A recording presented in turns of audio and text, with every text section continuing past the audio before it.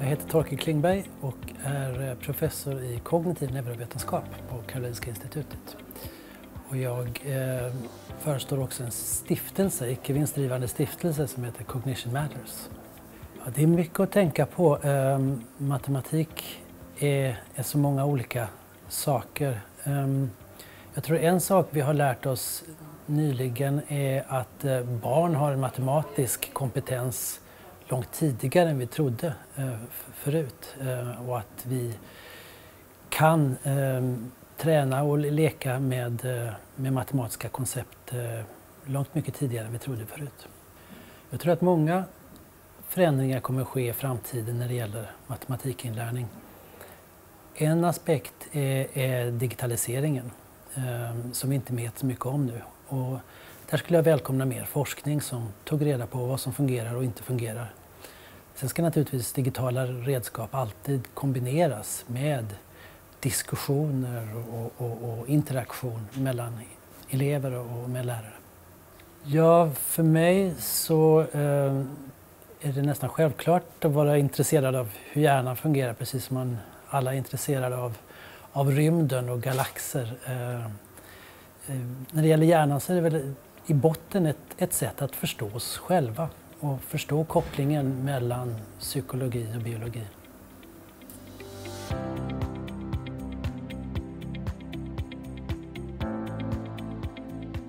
Då går vi till vår första talare som jag är väldigt nyfiken på. Jag har inte haft glädjen att lyssna på Torkel Klingberg, men jag har hört att det brukar vara väldigt spännande och intressant.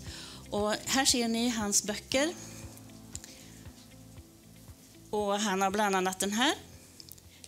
Hjärna, gener och jävla anamma, alltså grit. Torkel var ju presenterad i programmet, men han kanske kan berätta lite mer om sig själv när han kommer fram här. Välkommen Torkel. Vi applåderar lite va, så han känner sig lite igång. Mm. Tack så mycket. Det är roligt att vara här. Eh, för de som har glömt så kommer jag från Karolinska institutet där jag forskar om eh, barns utveckling och eh, träning av kognitiva förmågor.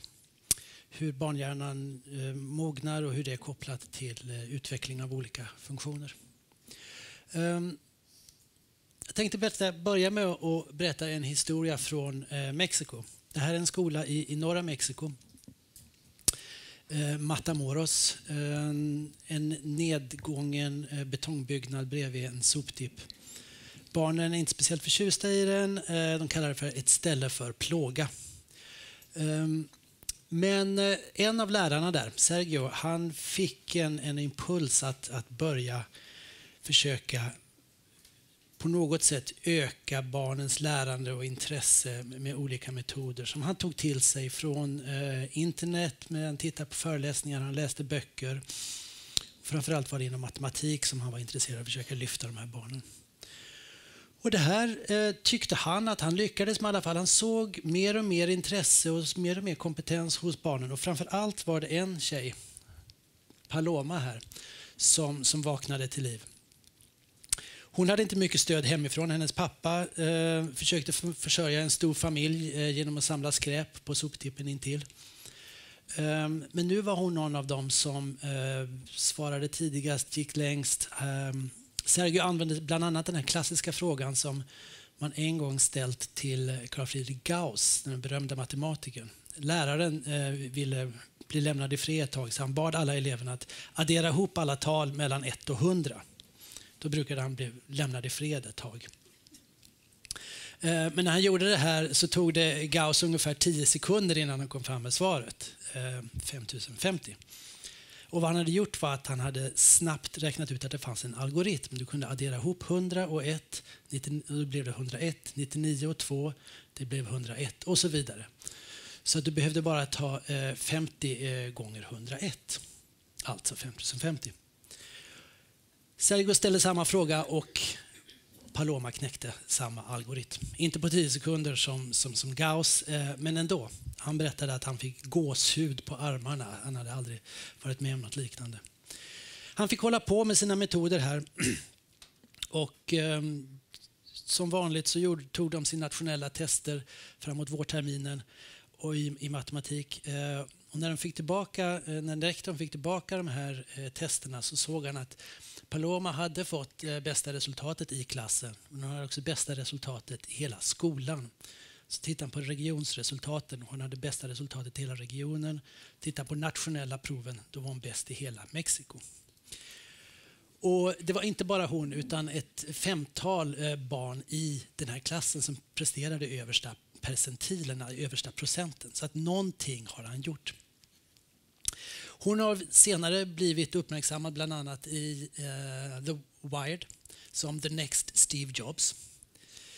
Sedan så eh, intervjuades hon i mexikanska tidningar om bland annat om den här artikeln. Och då sa hon nej, jag ska inte bli nästa Steve Jobs. Jag ska bli större.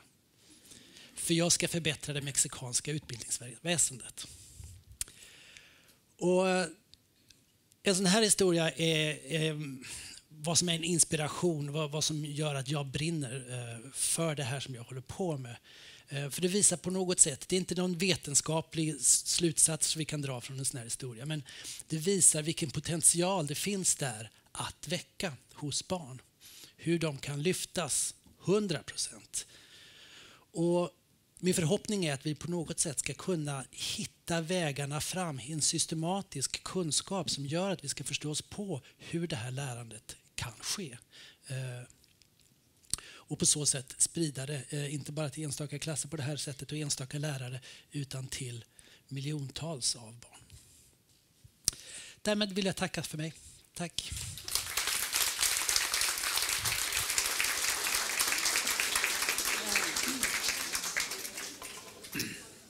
Eh, är det spontant någon som vill ställa en fråga så ska jag försöka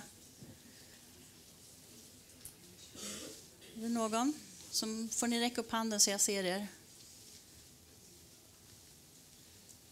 Nu kan ni nästan allting. Ja. ja. Och det är ju så roligt. Ja, här kommer en fråga. Nej, inte med mikrofon. Inte, nej, okej. Okay. Det finns ju något som heter synergi eller något sånt, hur man ser en tallinje. Hur man uppfattar hur en tallinje kan se ut. Som jag fick läsa av mig på lärarhögskolan. Jag tyckte det var väldigt intressant. Att man liksom tar hänsyn till det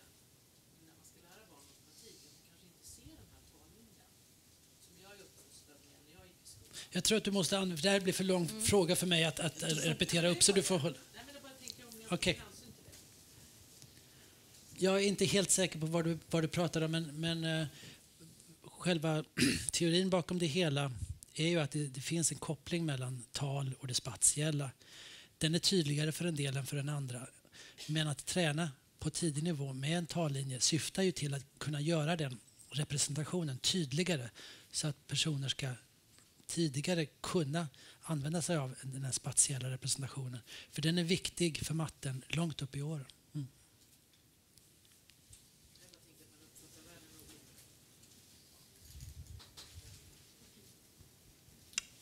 Då så, då är vi fyllda av det här eh, fantastiska budskapet att det går att ja, träna sig.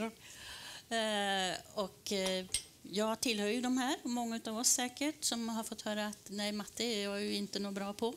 Och så ger man upp. Eh, det som jag har upptäckt här på redaktionen är att vi har, fantastiska författare och eh, redaktörer som faktiskt har övertygat mig om att matte är väldigt roligt. Så det, jag, jag, man blir nog inte för gammal för det heller, upptäcker det. Tack ska du ha, Torkel. Ja. Och, eh, Barbro kommer här med en vacker liten bukett till dig. Tack så tack. mycket. Tack. Och som sagt, tack.